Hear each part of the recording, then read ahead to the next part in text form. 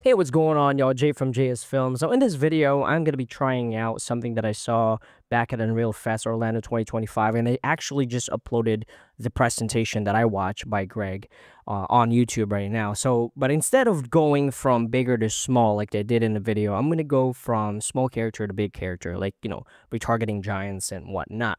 Now, I'll be using, I think this is the same exact animation they use in a presentation. So I have a SWAT character here that I got from the marketplace, and we have just a UE4, UE5 skeleton that I'm retargeting to. I basically just went here and then retargeted animations, selected my character right here, and this created our retargeted animation right now, which is right here.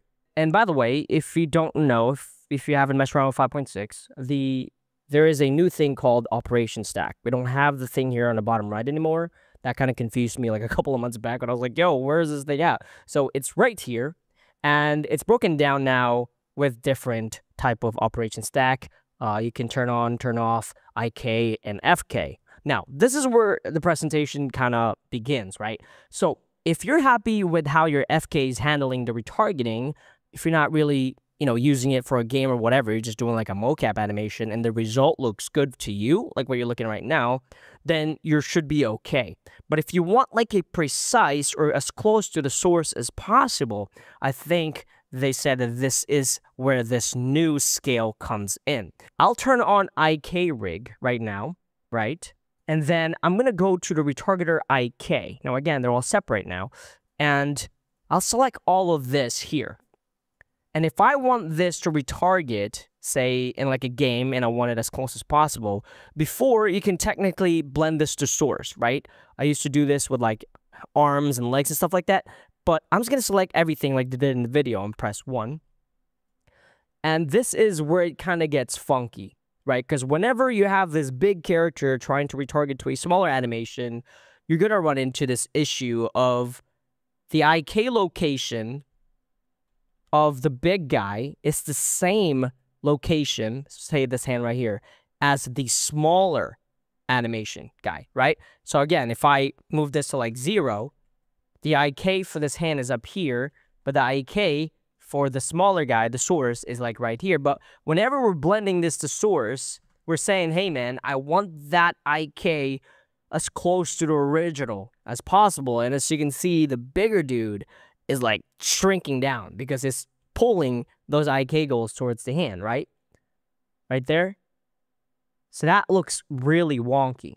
So with that said, for us to fix this issue here, if you must absolutely blend the source, click on the add new target and there's now a scale source. And what you have to do is just bring this to the top of the, the stack. And in the source scale factor, I'll just put in 1.5 and that is going to properly scale the source to the target. That's not bad. And again, I can make this source now bigger or smaller. And I'll get it. I think Greg tried to get it as close to the IK goal as possible by just play, playing around with this. Right? And now if I look at this retargeted animation, might be a little bit too big actually, like 1.6, 1.6.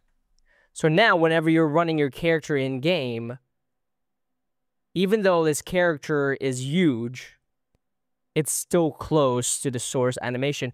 And I believe they mentioned they use this a lot in Fortnite. Because in Fortnite, they have like different size, different height and stuff character. So I, I thought I, I thought I heard him say that they use this in Fortnite, but it's pretty cool.